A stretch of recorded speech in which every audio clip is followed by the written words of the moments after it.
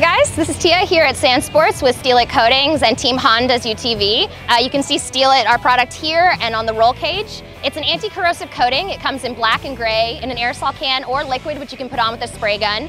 It's super durable, abrasion resistant, salt spray resistant, UV weathering resistant, but the real primary benefit is that you can weld right through it without grinding it off first, TIG or MIG. And once it's on, super durable and uh, available anywhere in the US and all over California. So check us out.